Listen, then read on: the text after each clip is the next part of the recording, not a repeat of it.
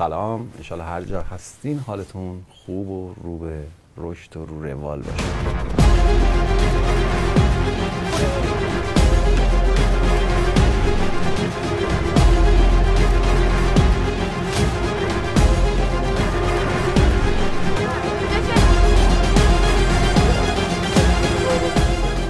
فیلم کوتاه جای نه تجربه درسته. کردن درست. فیلم هم میدی بس سه روز مونده به نه نه فضاهای مختلف کار کردم جهان فیلمت شکل گرفته. کامپوزیت زیبایی شناسی تصویری خوب می‌شناسم سعی کردم با کمترین امکانات.